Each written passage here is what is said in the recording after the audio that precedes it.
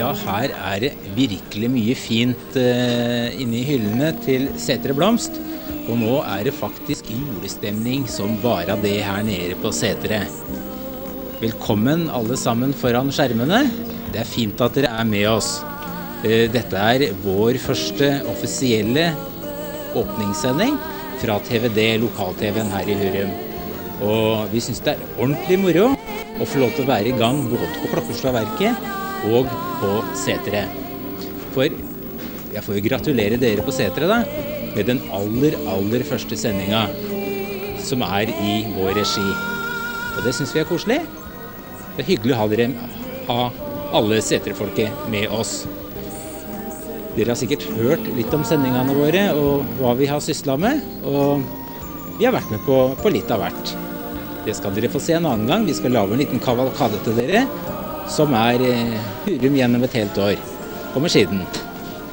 I kveld så skal dere få være med på skikkelig bygdeunderholdning oppe på Håvenga. For dere som ikke vet hvor Håvenga er, så er det samfunnshuset oppe på Klokkerstua.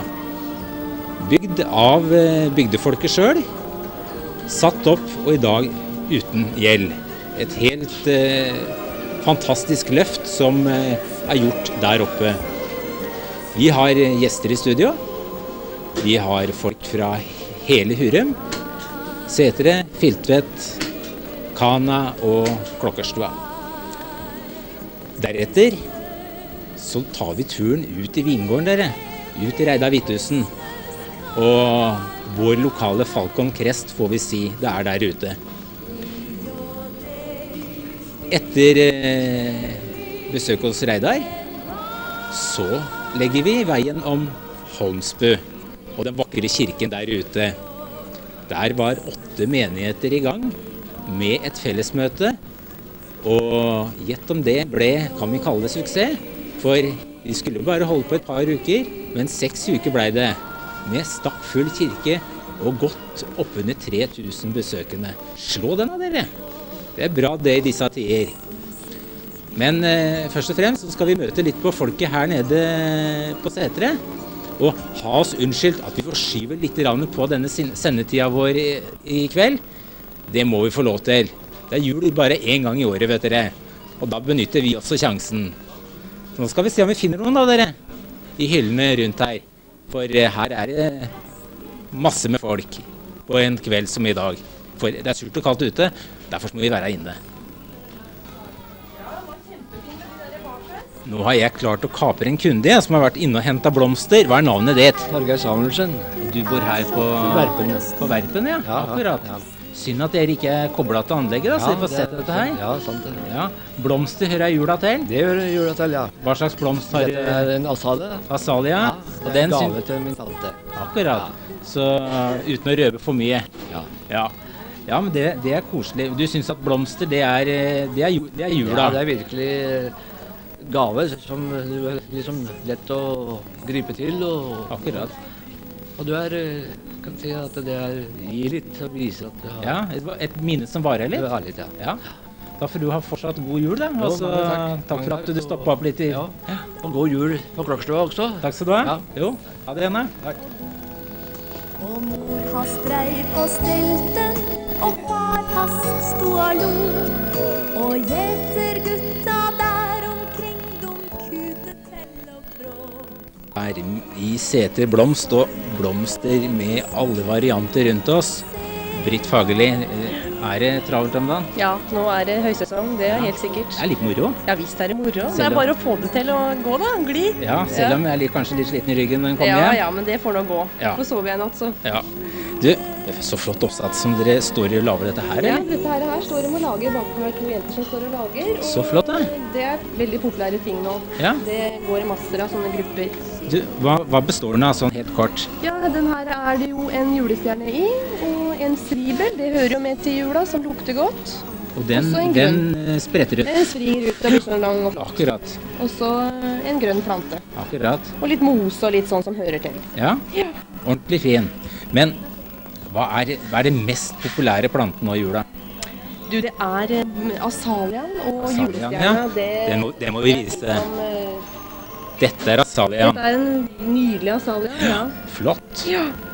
god, et godt råd.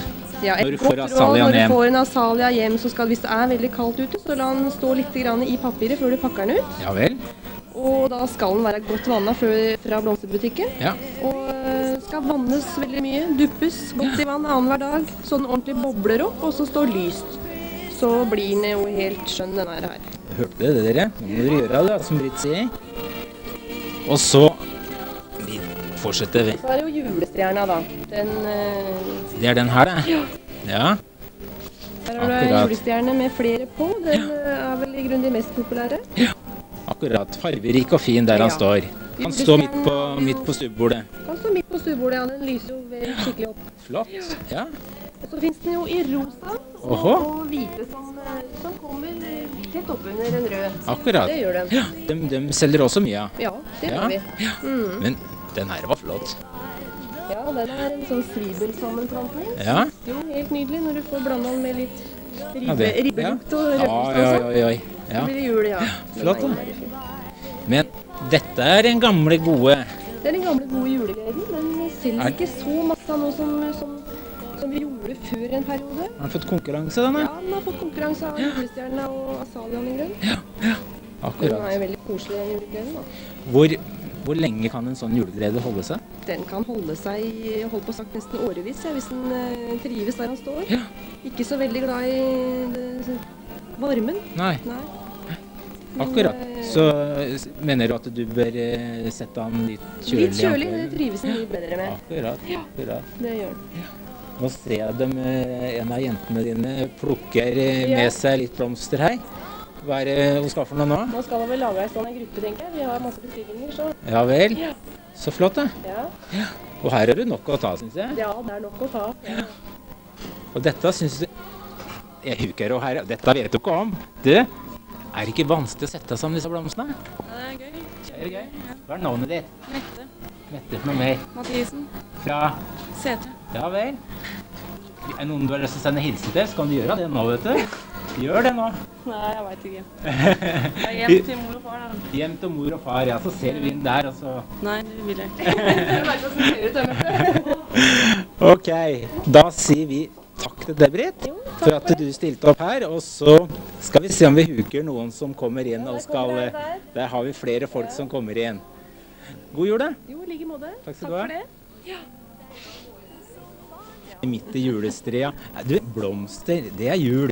Ja, absolutt. Og masse røde blomster. Det gjør veldig mye jul. Akkurat. Hva er navnet ditt? Brita Tingberg. Og du bor på Skattevet. Det jeg bor på Skattevet. Akkurat. Uh, skal du handle med litt blomster hjem, da? Ikke hjem, jeg skal ha med en som en gave. For jeg skal bort. Er det populær gave, syns du? Veldig. Ja, Det er alltid moro å få blomster. flott. Riktig god jul, da. Ja, i like måte.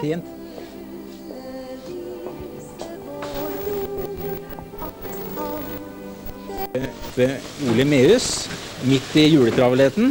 Det er eh, Er er det julegodt, eh, Mehus? Ja, det er eh, litt julegodter i poseeiet. ja. Jeg ser minusgradene de har krypet nedover, og det er egentlig godt å komme inn i varmen. Ikke sant? Ja, Det er det. Ja. Gratulerer med lokal-TV på Setre. Du er jo formann i kabel-TV-en. Tusen takk. Jo. Du eh, begynner å, å, å bli moro å, være med i det her, Ja, og være formann. Flott. Men jeg vet at eh, lokal-TV er én ting, men det er andre planer også på kabel-TV-en her nede, Meus. Fortell litt. Vi eh, regner jo med at når dette programmet går på lufta, så har vi også to satellittkanaler inne på TV-en, pluss denne lokal-TV-kanalen da, som vi kjører med informasjon og, og, og program. Så og enda er det vel mulig at Sætre-beboerne kan vente seg en liten overraskelse til på nyåret, men det, det skal vi ta opp litt siden. Det skal komme som en, en, en nyårsoverraskelse. Det er godbiter på lager, dere Setre-folk. Selv om eh, vi på Klokkerstua, som også er med på denne sendinga, sitter og koser seg med syv kanaler i dag. Så velkommen etter, får vi si nå. Nå skal vi være litt store på det, vet du. Ja, vi har jo, når denne sendinga går, seks kanaler. og som sagt, eh, en liten overraskelse på nyåret, muligens. Det, det kan godt hende. Det som jeg nå har hørt, er at uh, Setrehallen, det har, uh, der har dere jobba nå iherdig de siste helgene. Ja, nå uh, har vi hatt dugnad. Det er, eh, Sætrehallen har fått en ny profil der det kommer opp to eh, antenner på taket Ja som, eh, for å ta ned to satellittprogram. Akkurat. Og eh, vi forventer da at våre lokalsendinger også skal gå fra Setrehallen heretter, i og med at vi setter forsterkeranlegget der. Det setter vi pris på for å traske opp i den bua på Storsand. Det var slitsomt. Og kaldt. Og kaldt, ja. Ja. Der var det utrivelig, for å si det Ja, for å si det mildt. Men fortsatt vil dere ta Sverige der oppe. Fortsatt har vi Norge og Sverige fra eh, Storsand. Og, eh, men eh, på lang sikt så vil vi da se om det er mulig å, å flytte til Sætre. Det fins kanskje muligheter da, eh, for å kanskje få en liten håndballkamp nå da også med oss på lokal-TV-en? Absolutt. Ja. Der eh, kommer til å bli lagt opp videokabel opp til eh, kameraplattformen i hallen. Flott. Og det er bare å sette opp kamera og plugge inn, så eh, kan det gå på direkten på lokalnettet. Dere, det åpner seg uante muligheter eh, oppe på Seterhallen. Så vi gleder oss, og vi får bare si fortsatt god jul og lykke til på Seteret, da. Takk skal du ha. Takk skal du ha. Eh, Bjørndal, er det juletravelt om dagen? Eh, det har ikke vært så aller verst hittil, men eh, det store kjøret blir vel eh, torsdagen, fredagen og lørdagen, tenker jeg. For å røpe litt grann av eh, dette opptaket, så står vi nå tirsdagen før julaften. Altså noen dager før nå. Sånn at eh, dette her blir sendt i romjula, så folk får litt eh, fornemmelse om, om, om hvordan vi står og lager dette her. Eh, det blir vel travelt eh, fra i kveld og utover, tenker jeg. Fra i kveld og utover, så det har begynt å røyne på allerede, da, lite grann. Akkurat. Merker jo allerede i kveld at det er, er mer folk. Altså. Ja, ja. Eh, fra kjøttdisken er det mye godt. Det er veldig mye bra kjøttvarer derfra. Har Rørvik-utdannede vært flinke i år? De har vært veldig flinke. Ja vel. jeg regner med at jeg har Rørvik-utdannede med meg på skjermen når de sitter og, og følger med. Vi vet at det er gode kjøttvarer, og, og, og dette her er det, er det juleribba og, og skinkesteika som er mest populære i år. Ja, det er vel det som er, eh, som er mest populært, tenker jeg. Ja vel. Ja. Så har de mye andre gode varer òg, men det tar veldig lang tid hvis vi skal ramse opp alle dem. Vi gjør ikke det. Men eh, god jul, da. Takk i like måte. Så- Så... Jeg ønsker alle seere og kunder og det som er riktig god jul. Flott. Det er herved gjort. Takk. Takk skal du ha.